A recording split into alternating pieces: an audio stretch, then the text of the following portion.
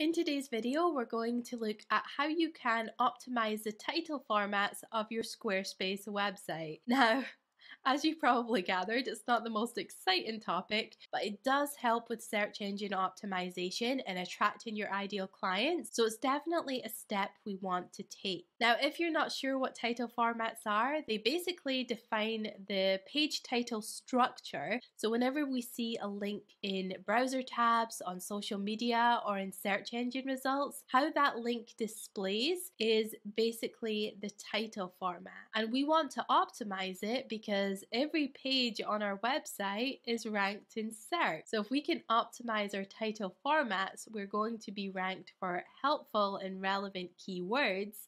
And we're also going to be attracting our ideal client because if they see that keyword, they are far more likely to click. For example, if I just show my name as the title of my website, Chloe Forbes Kindlen, it's okay if somebody's searching for that.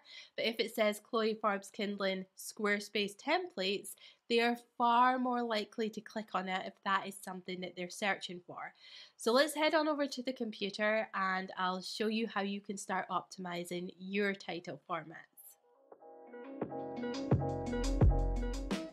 To change your title formats in Squarespace, go to Marketing, SEO, and scroll down and you'll see this SEO title format. And we have three buttons up here Home, Pages, and Items. And you'll see the default display for each of these is different. So if we come to Home, we have this percentage S. Now, what this means is display the title of your site. So whatever you have as site title, that's what it's going to show. Pages, we have percentage P and then percentage S. The P stands for the title of your page. So whatever you've named the page, and then we're going to have a dash, and then it's going to display your site title. So here we've got page Chloe Forbes Kindlen, but say this was the about page, it would show as about Chloe Forbes Kindlen. For you, this would be whatever you named the site. And then items are things like blog posts, products, events, collection items. We'll see the percentage I means display the title of the item percentage S is the title of your site. But you have some flexibility here. So you could add in here percentage P. And what that would do is that would change the title format to display the item name, the page name, and then your site title. So you can play around with this and make it your own. These variables are great because it's going to pull in a lot of the information for you, but you might decide you want to add something in. So one other thing you can do here, in addition to these variables, is you can add just regular plain text.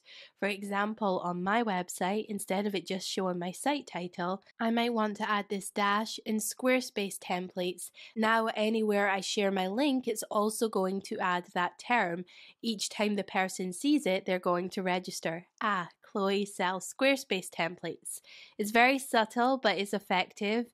The key is to pick one small phrase that has keywords in it that you want to rank for. So we don't want to use this space and take advantage of it by stuffing random keywords. That's going to look spammy, but you can change this SEO title format so that it's adding something extra that you want to be ranked for and you want people to register each time you share the link. And again, the same is true for pages and items as well. Now, one final note that I want to make, particularly with pages and items, is to consider the user's experience when setting your title format structure.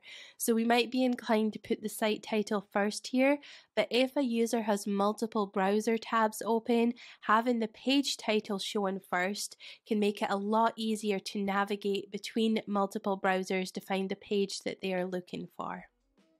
Hey, if you like this video, there's a good chance you'll also like this one.